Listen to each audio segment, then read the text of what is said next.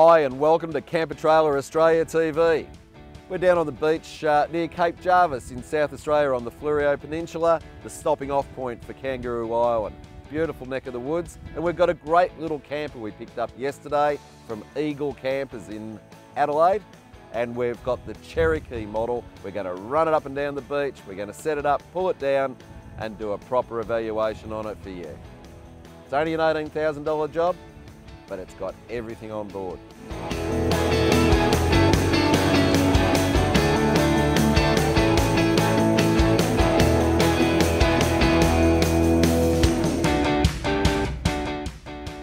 Well, have a look at this place. It's just beautiful. This is uh, the Blowhole Beach, looking across the backstairs passage to Kangaroo Island in the background. And I got to say, Cape Jervis, wonderful place, but it's one of the windiest places in Australia. That's why they put a wind farm here but was also a great place to bring this camper, the Eagle Cherokee camper, so as we could do a full setup on it on some uneven, rocky, horrible ground with plenty of wind, and I'm happy to say we've achieved.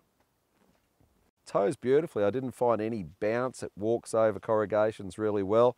Uh, we put it through some rocky ground as well and it just walked beautifully. So independent suspension, a good solid galvanised chassis, uh, plenty of strength in the drawbar and plenty of turning room for those tight manoeuvres. You've got battery facility and basic power as well as 240 but you've also got quite a good little kitchen. You've got a four burner stove, stainless steel sink, we've got the Evakool icebox here as well and a decent sized pantry all within underneath the annex area so you're not going to get wet or sunburnt while you're cooking dinner.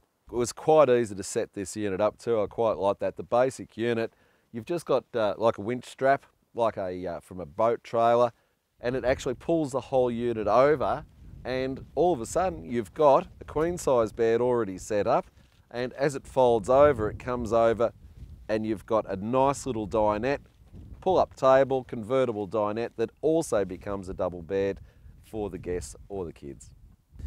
I've been pretty critical in the past when you get campers that you've got to step up into. A lot of the staircases really are quite dangerous, not really nice at all. This one's a beauty, works really well.